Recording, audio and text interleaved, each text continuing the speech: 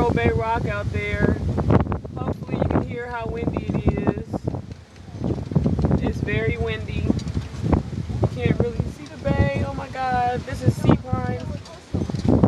No. Oso means bear in Spanish. And that's where I am in Los Osos, California. And my battery's about to go dead on my phone. I mean on my um, camera. Look at the little birds. Could you imagine